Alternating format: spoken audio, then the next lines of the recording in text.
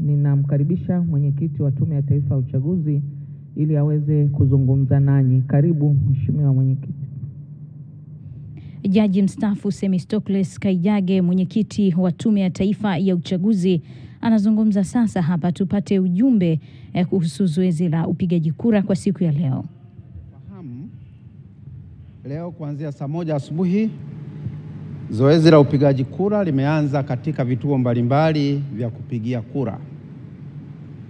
Mpaka sasa zoezi la uchaguzi linaendelea vizuri licha ya kuwepo kwa kasoro ndogo ndogo katika baadhi ya maeneo, hasa kwa wapiga kura ambao hawakufanikiwa kuhakiki taarifa zao mapema na kuweza kutambua vituo vya kupigia kura.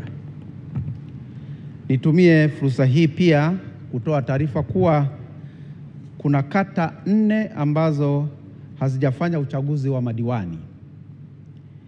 Kata tatu kati ya hizo ni kutokana na baadhi ya wagombea kufariki na kata moja haijafanya uchaguzi kutokana na kukosewa kwa karatasi za kura. Kata ambazo hazijafanya uchaguzi kutokana na wagombea kufariki ni pamoja na Igumbilo katika halmashauri ya manispaa ya Iringa, ya pili ni Kisang- Kisingia katika halmashauri ya wilaya ya Kilolo na ya tatu ni Nyahanga katika halmashauri ya mji wa Kahama. Kwa mujibu wa kifungu cha hamsini na moja cha sheria ya uchaguzi wa serikali za mitaa kikisomwa pamoja na kanuni ya 33 ya kanuni za uchaguzi wa serikali za mitaa za mwaka huu, tume itapanga tarehe nyingine za uteuzi au ya uteuzi kwa wagombea wa vyama ambavyo wagombea wake wamefariki.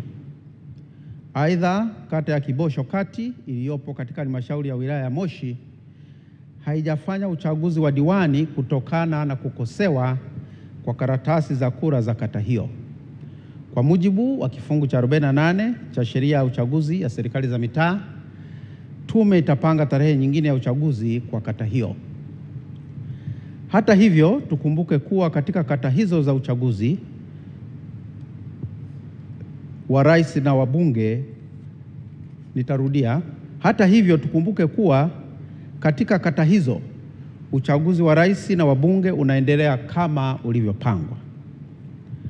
Aidha, kuna taarifa zinazosambaa kwenye mitandao ya kijamii kuhusu kuwepo kwa masanduku ya kura fake katika majimbo ya Kawe Dar es Salaam, Pangani Tanga na Buhigwe Kigoma.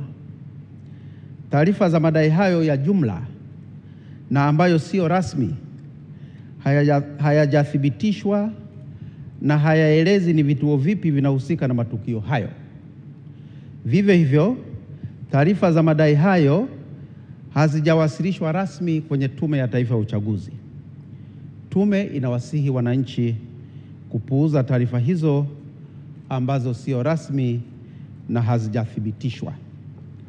Tume inaendelea kufuatilia namna ambavyo zoezi la uchaguzi linavyoendelea nchi nzima na itatoa taarifa kwa kadri itakavyokuwa inawezekana.